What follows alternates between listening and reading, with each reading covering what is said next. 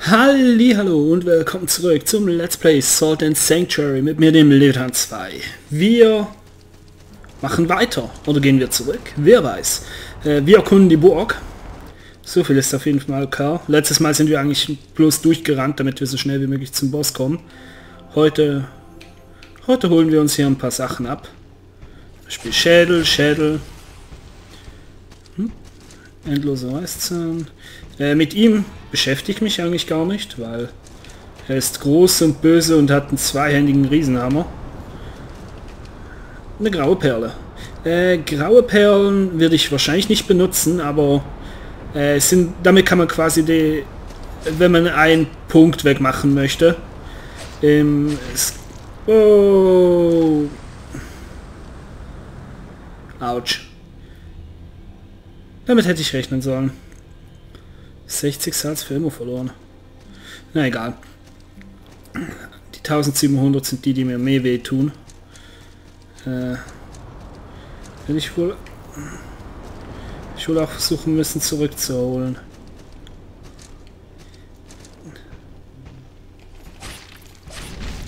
Jetzt aufhören. Blöde Feuerschädel. Ähm, was machst du dort? Nein. Äh. Er hat mich in eine Falle gelockt. Eine Falle gelockt.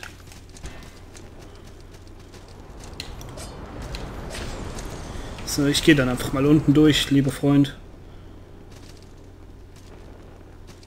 Cool, hä? Ähm, aufmachen und Titan, ja. Titanensachen, das klingt schon so, als könnte ich sie anziehen, indem ich keinen Punkt in schwere Rüstung investiere.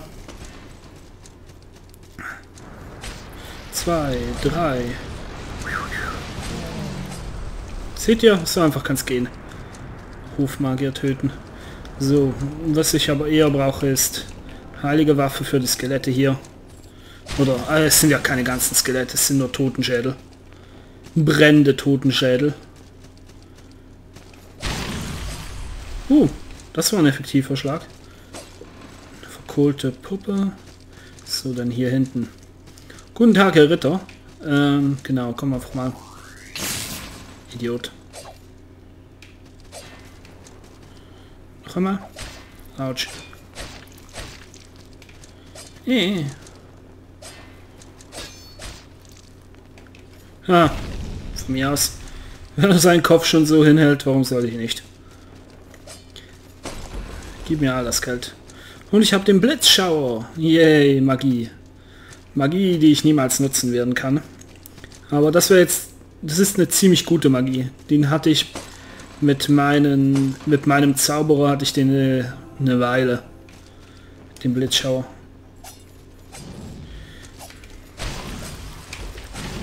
So. Okay, zuerst räumen wir mal hier am besten die ganzen Räume. Das ganze Gebiet hier leer. So, eins, zwei, drei, vier. Okay, so viel brauchte ich dann doch nicht. Hier oben noch welche? Nee, gut. So, ein sengender, sengender Strahl, das ist sogar was Heiliges. Äh, Klasse 4 Gebet, beschütte... Äh, okay, Stufe 4 Gebete. Wird interessant. Und ist sogar offensiv. Äh, 1, 2. Ja, Schwertmeister. Ich habe keine Ahnung. Irgendwie Spaltritter? Irgendwie sowas. Äh, auf jeden Fall können sie sich sogar teleportieren. Ziemlich un... Ja, hier wollen wir noch nicht hin. Zuerst nach oben. Denn hier hinten ist interessanter. Äh wieder. Immer den Buff aktivieren, immer den Buff aktivieren. Zwei, drei und tot. Und nehmen wir auch geteilten Schwertmannes, okay. Und dann noch ein paar geteilte Sachen. Weil sie immer alles teilen müssen. Upp. So, und dann geht es eigentlich auch schon weiter. Hm? Das war jetzt schon die ganze Festung der Stürme, zumindest alles, was ich kannte. Wobei, stimmt nicht ganz. Etwas gibt's noch zu tun. Hier hinten weitergehen. Mit dir sprechen. Hallo, mein Freund. Gegenstände kaufen. Äh, das einzige Interessante, was er wieder mal hat, sind quasi die äh, die Upgrade-Materialien, aber äh, ich habe eigentlich alles, was ich brauche. Ich könnte mal noch die Rüstung verbessern, aber ich bin mir gar nicht, ich werde die hier wahrscheinlich gar nicht ewig anhaben. Von denen habe ich genug. Gib mir drei davon. Drei davon. Drei davon. Drei davon. Und das kann ich jederzeit eine Waffe. Wenn ich mal eine neue finde. Äh, das sind also äh, der Zahn und der Kiefer, das sind auch Upgrade-Materialien. Einfach halt unterschiedliche Waffen brauchen unterschiedliche Upgrade-Materialien. Viele der Basiswaffen brauchen aber einfach äh, oh und ein Magiestab.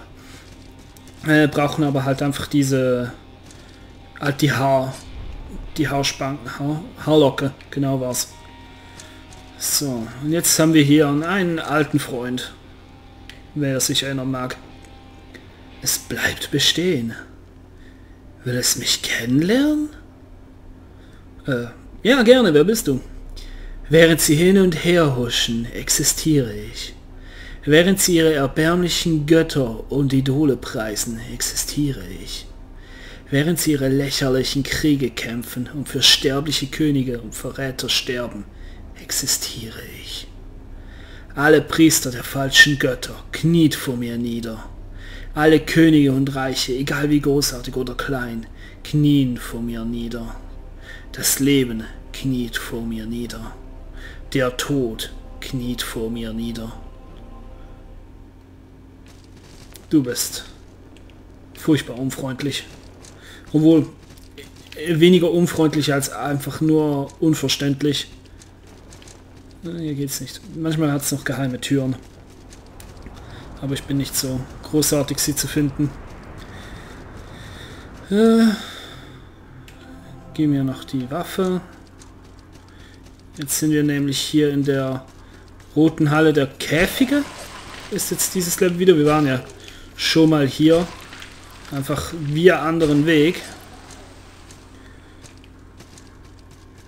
Und jetzt quasi auch ein Weg, den wir gehen können. Na, na, na, war das nicht cool? Mhm. Das war cool. So, wieder Magie einsetzen, schnell noch Magie einsetzen. Wir gerade dabei sind. Guten Tag. Und der war tot. So. Und der war auch. Nee, dich, ich würde dich gar nicht aktivieren. Von mir aus. Hol mir schnell das hier. Sack voller Salz.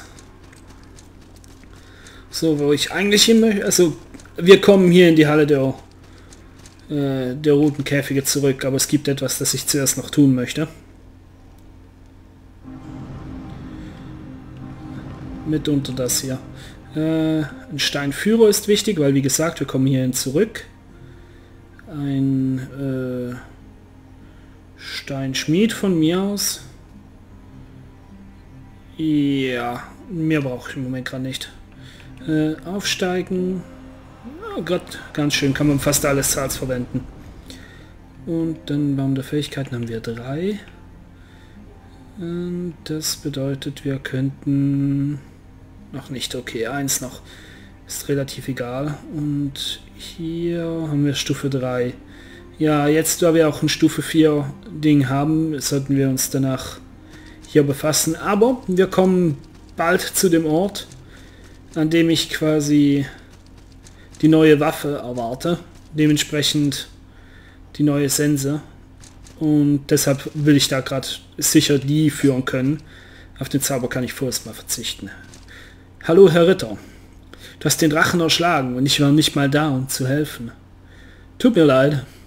Ich denke, ich brauche dann wohl einen neuen Auftrag. Nun gut, der Tempelturm. Oder sollte ich zuerst das Verlies unter, in das Verlies unter dem Schloss? Ja, selber wissen. Oh, ein Schild. Mein Herz will, was auch immer im Tempelturm liegt, aber von, vor ihm befindet sich dieses verdammte Gebiet. Der Dom der Vergessenen. Ein treuloser Ort, voll widerhallendem Elend, von Leid und Schmerz. Nun? Hm. Vielleicht sollte ich mich durch das Verlies kämpfen, egal wie schlimm es scheinen mag. Ich weiß, das ist auf jeden Fall besser. Äh, es ist auf jeden Fall besser, als dieser verfluchte Dom ist. Wann immer du Angst hast und alleine bist, erinnere dich daran, dass du dein eigener Held bist. Ja, das habe ich mal gedacht, dass das sein letztes, sein letzter Satz sein wird. So, er sprach aber schon davon, vom Dom der Vergessenen. Und das ist genau unser Ziel. Wir wollen in diesen verfluchten Dom, in dem sich nicht mal der, Ritt, der Ritter hineintraut. Ihr müsst überlegen, er geht lieber durch dieses Verlies, in dem wir drin waren, die, die Halle der roten Käfige oder wie es heißt, Kerker der roten Käfige, anstatt quasi hier in den Dom der Vergessenen zu gehen. Und dort muss ich, also ich muss nicht hin, aber dort gehe ich jetzt hin. So, noch ein paar Kleider bekommen. Was haben wir hier unten? Ich weiß, das ist nicht der Weg, aber man kann ja mal nachschauen gehen. Vielleicht findet sich ja noch was. Nope, eine rote Barriere. Äh, da kriegen wir dann auch eine Fähigkeit, mit der wir durch rote Barrieren durchlaufen können. Irgendwann. So, dementsprechend kein Stress. So, dann geht es wohl einfach so weiter. In den Dom der Vergessenen. Ich meine, er hat einen Haufen, hat einen Haufen Staub rumliegen und so, aber sonst sieht er doch eigentlich gar nicht so schlimm aus, meint ihr nicht auch? Und natürlich verschwindende Plattformen. Aber naja, irgendwas wird schon hier sein, wenn der Ritter Angst davor hat.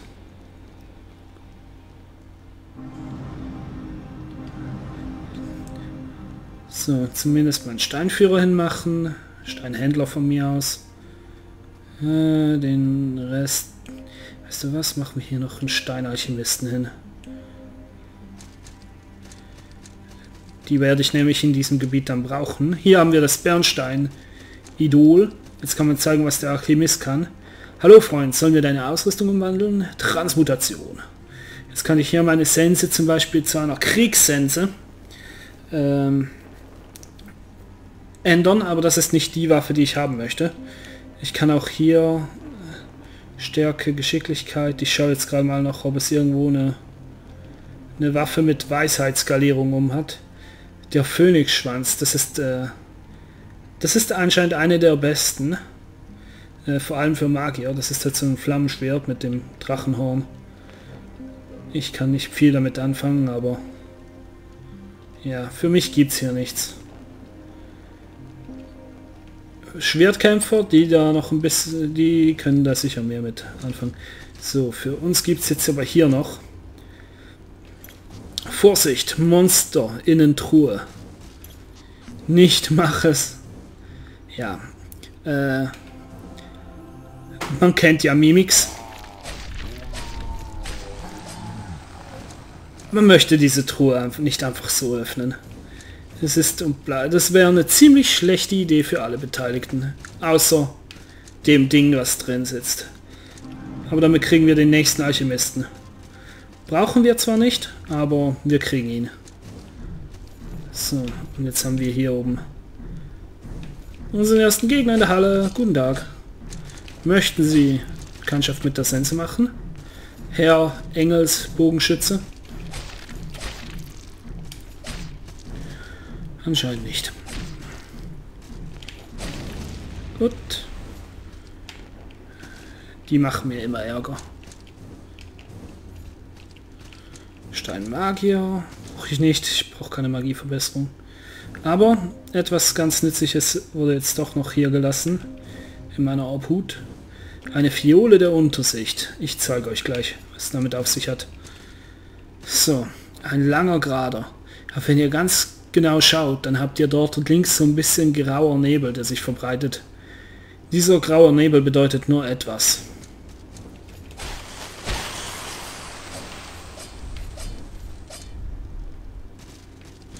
Unsichtbare Gegner. Und ich glaube, damit ist es schon einigermaßen klar, was die Fiole der Untersicht... ohne Pistole. Autsch. gib mir schnell Heilung. Damit ist klar, was die Fiole der Untersicht macht. Können es auch gleich zeigen. Ich habe zwar nur begrenzt, aber ja, das dort oben, die wären unsichtbar, wenn ich die Fiole nicht genommen hätte. Es ist ziemlich gut, dass ich die Gegner hier in einem Schlag erledigen kann. Äh, sonst wäre es um einiges mühsamer. Also die unsichtbaren Gegner. Den hier kann ich natürlich nicht auf... Wow. Guter Schuss, Freund.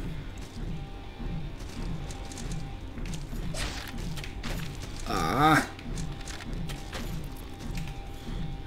Aber er greift zu langsam an. Das hier ist eigentlich kein Gegner, der einem gefährlich wird. Er,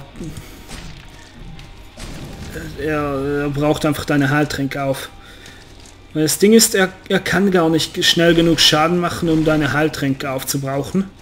Wenn du es einigermaßen schlau machst, die Heilung nicht vergisst. Ja, Skorpionssachen sind auch schwer. Er kann dir also in dem Sinne gar nicht genug Schaden zufügen, um dich umzubringen, wenn du, die, wenn du deine Leben nicht gerade vergisst. Aber er braucht, er trifft dich halt, er trifft mich. Mich trifft er die ganze Zeit. Was heißt, äh, ich muss damit leben, dass ich mich die ganze Zeit heilen muss. Nope. Nope. Es ist auch interessant zu sehen, dort oben sehen wir schon was. Irgendwas Großes wartet dort oben. Aber noch ist nicht die Zeit dafür. Guten Tag, Herr Ritter. Adios, Herr Ritter. Kein Interesse an dem Typen. Obwohl er Interesse an mir... Wow, Freund, pass auf. Das ist eine gefährliche Waffe, die du da umher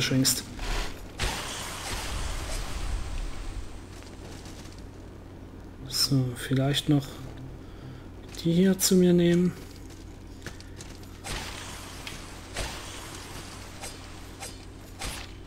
Nein.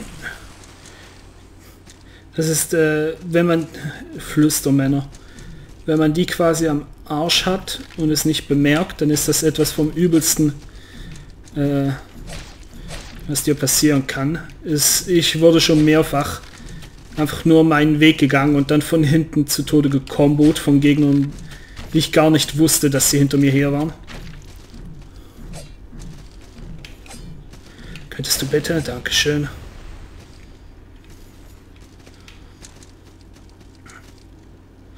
So. Die hier sind besonders schlimm, weil man sie schnell vergisst. Weil man hier gar nicht durch muss. Und dann geht man hier nach unten. Sieht hier, oh, Kerzen. Hier kann ich speichern. Und während er hier die so lange braucht, um endlich mal das Ding anzuzünden, stehen sie schon da und prügeln dir den Rücken tot. Furchtbar. Aber egal, wir haben einen Speicherpunkt erreicht und wir werden es dabei belassen für heute. Äh, wie ihr euch denken könnt, bei so einem Speicherpunkt wird wahrscheinlich bald etwas kommen. Und ja, wir werden das dann im nächsten Part sehen. Ich hoffe, ihr schaltet auch dann wieder ein und in diesem Sinne, hoffentlich bis dann.